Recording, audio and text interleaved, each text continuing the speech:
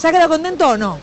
Bueno, me queda contento porque he podido explicar en una reunión eh, lo que vengo diciendo en los medios de comunicación en las últimas semanas, por lo tanto cara a cara, no a través de los medios de comunicación. Está muy bien explicar las cosas a través de los medios, pero he podido eh, explicar el criterio personalmente. A quien sea. Pero a lo que yo me refiero es las explicaciones, el posible documento que va a presentar el señor Montoro, que ahora mismo es en su tejado donde queda la pelota.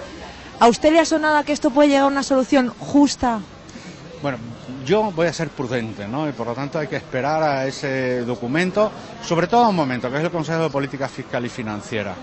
Todavía no está convocado, puede ser finales de junio, mes de julio, y ahí es donde tendremos que intentar cerrar un acuerdo, que sería lo deseable, si ello es posible. Si no, la última competencia la tiene el Ministerio de Economía y Hacienda.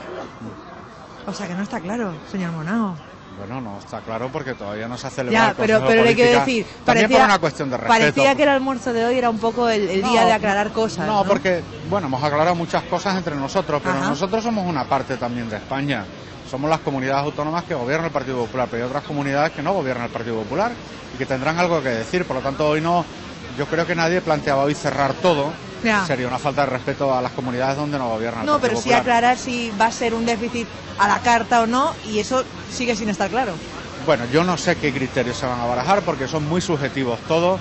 Yo siempre he dicho lo mismo, es muy difícil que alguien me diga dónde está la balanza eh, objetiva de esta materia, no la hay. Por lo tanto, al final se ponen encima eh, criterios de carácter subjetivo, criterios muchas veces son estrictamente las necesidades que tiene cada uno en su comunidad y por lo tanto es difícil llegar a, a- a tener ese clavo del abanico que, que una pues todos los intereses.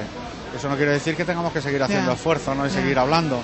Pero es verdad que cumplir y no cumplir tiene que tener sus consecuencias, si no al final lo que nos dicen los vecinos, ¿para qué ha cumplido usted? Claro.